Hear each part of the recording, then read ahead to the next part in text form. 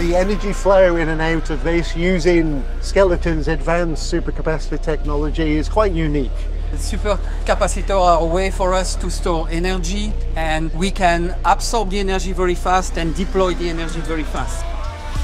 Hello, my name is David Salters. I'm the president of Honda Racing Corporation USA.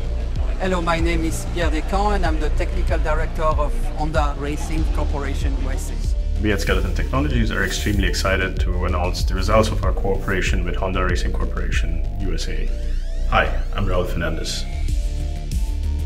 We worked extremely close together with Honda Racing engineers to uh, lead up to the design, development and production of the uh, hybrid supercapacitor power packs that were deployed at the IndyCar uh, during the racing season 2024.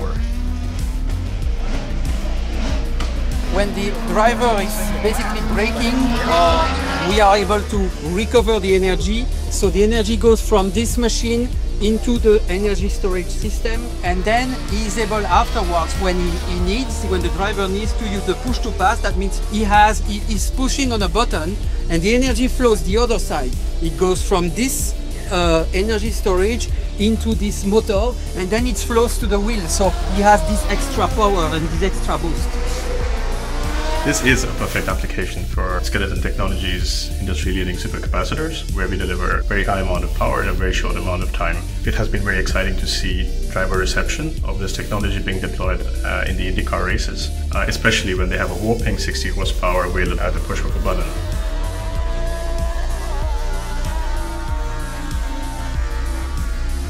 The second benefit of using supercapacitors in this application is allowing drivers to restart their cars when they veer off course or when their engine stalls. Now we have more green flags, more racing, more excitement, more power.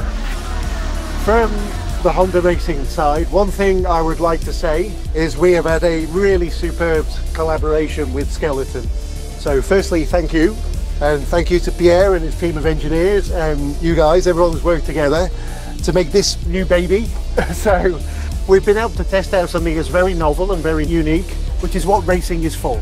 And we've done it in a very short time period. And of course, there's lots of other interesting technology that Skeleton is working on. We've made a really good collaboration and we'll see where this goes to in the future. The hybridization effort is not only good for our environment, but the collaborative work done together with Honda Racing Corporation's engineers packs more power into race cars, making motorsports more exciting.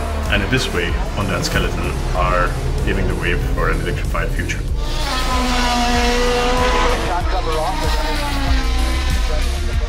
We are Skeleton Technologies, and we help save energy.